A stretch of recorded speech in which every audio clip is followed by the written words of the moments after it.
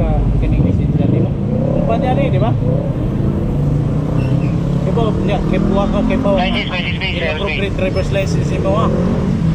O, i-inform pati ka. Alright, what's up mga master? Welcome back again sa ating channel, Master Jelon. For today's video mga master ay pag-uusapan natin ang tungkol sa video na napanood ko din nito lang. Ah, ito ay tungkol sa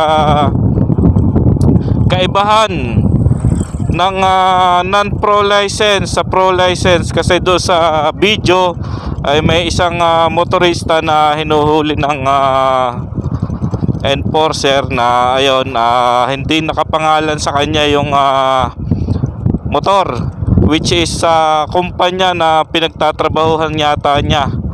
Ngayon ah, ang issue dito ay hindi naman siya company driver yata. Hindi malinaw sa video no? Kasi hindi natin maintindihan at ah, ibang lingwahe ng ah, Pilipino no? So based sa video ay hinuhuli yung ah, riders kasi nga hindi nga nakapangalan sa kanya at ah, nakapangalan yung motorsiklo niya sa kumpanya pinagtatrabahuhan niya. Pero ang issue dito ay yun nga ah, hindi siya company driver at ah, yung ah, motor na ginagamit niya ay for ah, service daw lang. Ah, kaya in-issue sa kanya noong ah, kumpanya. Kumbaga parang ah, service service lang pero hindi naman pinagkakakitaan kumbaga So ito ang pag-uusapan natin no kasi maraming hindi nakakaalam sa atin na sigurado tayo na yon nalilito tayo tungkol sa issue na to. Ah, saan nga ba pwedeng gamitin ang ah, pro license at ang ah, no pro, ah, non pro license. So credit to the owner of this video panoorin natin at nag-base lang tayo sa mga comment dito sa video. So kung kanino mang video tong ah, napanood ko ay comment ka lang kung ah, ikaw ang may-ari nito. Kasi doon sa napanood ko ay mukhang grab na lang din at ah, nakalagay doon ay CTTO panoorin natin. Let's go. O, baka kining lisensya di ba? Kumpanya ni, di ba? Kibo, niya, kibo ka, driver, Inappropriate driver's license mo ha. O, i-inform pati ka. Wa ka kibaw na no? Ya, i-drive ba ni mo? Kumpanya nga. Motor. Wa ka kibaw. Inform ka. Dapat. Kibaw baka pilay may lisense mo na. Mail. Spinso imong lisensya o one year. Ka-drive ka o company. Bicol. Nga imong lisensya non-pro.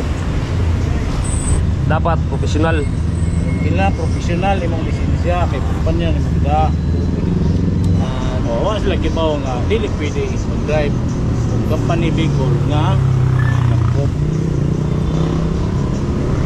So disclaimer lang mga master no, yung ah, comment ko dito sa video na to ay based lang sa mga nabasa kong comment at ah, kasi hindi ko maintindihan yung ah, conversation nila no. So kung may mali ang ah, pagkakaintindi ko ay feel free to comment at itama nyo, wag nyo na lang ako i-bash.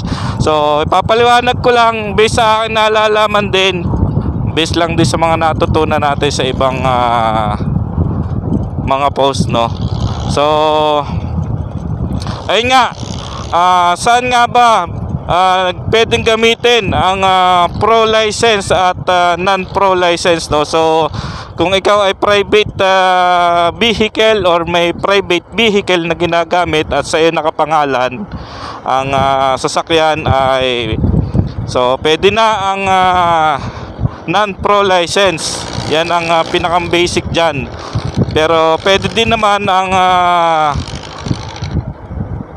pro license. Ulitin natin, ah, baka namali ang sabi ko. Kung ikaw ay may private vehicle or ah, sa inyo nakapangalan ng sasakyan ay pwede na ang non-pro license. Ah, pwede rin ang ah, pro license basta sa inyo nakapangalan. At ang kaibahan naman ng kung hindi sa inyo nakapangalan ang sasakyan or ah, at hindi pala or at ginagamit ninyo sa pangkabuhayan like eh, halimbawa ah, pinagkakakitaan nyo tulad ng pagdadrive no? Ah, halimbawa company driver kayo or ah, isang ah, driver kayo ng ah, private family ano ng isang pamilya. Or ikaw ay delivery rider. So dapat ay pro license ang ah, inyong ah, lisensya. Pro dapat ah, pro license ang inyong lisensya.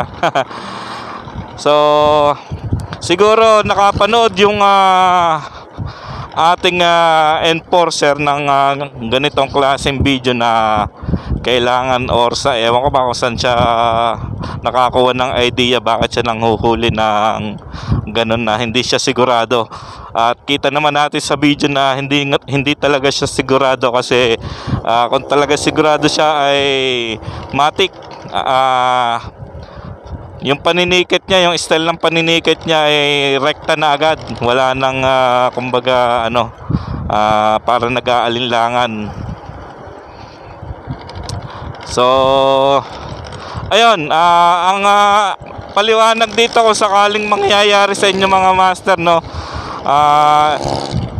yung tulad ng ah, ginawa ng enforcer na hinuhuli si rider kasi nga ah, sa company daw nakapangalan yung ah, ginagamit na sasakyan ay eto ang paliwanag dyan na dapat ah, sabihin nyo or ah, i-contest nyo agad sa nang huhuli sa inyo na kung hindi naman kayo company driver or ah, hindi nyo pinagkakakitaan ang ah, pagmamaneho tulad nga halimbawa ng ikaw ay taga-deliver ng isang kumpanya or ah, tulad ng mga delivery rider natin kasi may private company na may sariling ah, delivery rider no?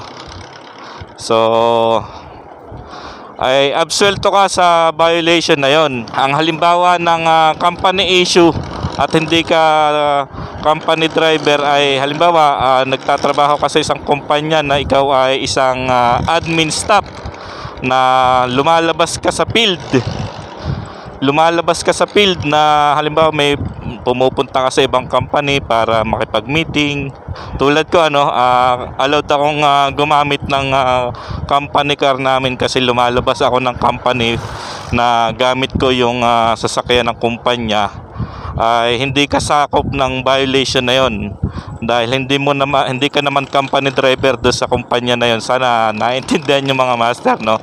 So yun ang halimbawa na hindi sakop ng ah, violation na panghuhuli tulad nung nasa video no at yun nga ah, kung ikaw ay company driver ay malamang pasok na pasok doon sa ah, violation na yun. Kaya dapat ah, sa HR pa lang ay yun nga kung mag-hire ng ah, mga company driver ang isang kumpanya ay requirements talaga ang pro license. So, ayun mga master, ah kung may nasabi akong ah, hindi kayo pabor ay feel free to comment no? At ah, pag-usapan natin sa comment section. So sana may natutunan kayo dito. At ayun kung hindi naman pumayag yung mga enforcer sa pakikipagdialogo nyo or uh, pagko-contest nyo ay ah, wag nyong pirmahan ang ah, ticket na ibibigay sa inyo. At ah, panigurado at siguraduhin nyo lang na siguraduhin nyo lang na ano ah iko-contest nyo talaga. Ilalaban nyo talaga para hindi na maulit yung mga ganong maling panghuhuli. So ayun. Sana may natutunan uli kayo dito at hanggang dito na lang. Palabas na tayo ng bayan ng Mayhay. Let's go